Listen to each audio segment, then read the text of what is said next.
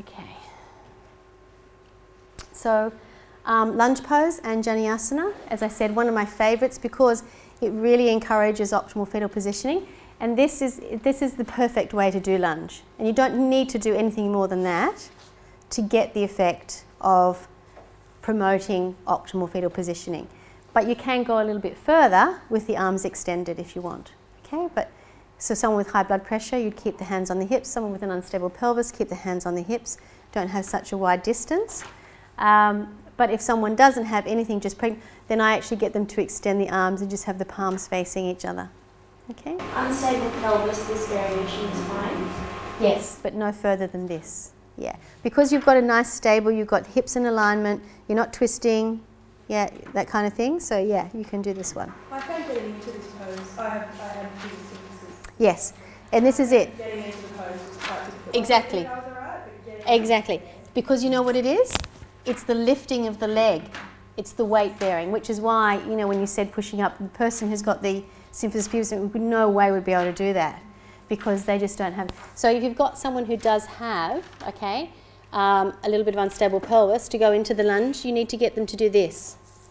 And they need to move like this, really slowly, okay? So once they're in it and they're holding it, they're fine, okay?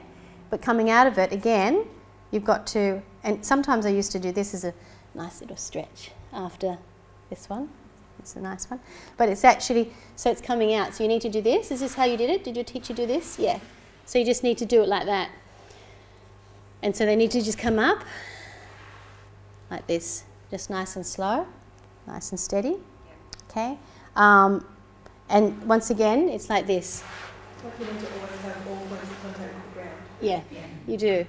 And uh, if you, the people who've got unstable pelvis, the way you bring them up from the floor, not like the way you did like this today, which is how if there's no unstable pelvis in the floor and you lean into the leg and you come up, but you do it like this. They have to come up like this and you have to just widen the knees a touch, not too much, because you don't want to unstable that pelvis and that seems you need to tuck the toes under and they need to come up like this. Okay? And then they push up with their legs. Okay, and that keeps their pelvis stable. Yeah?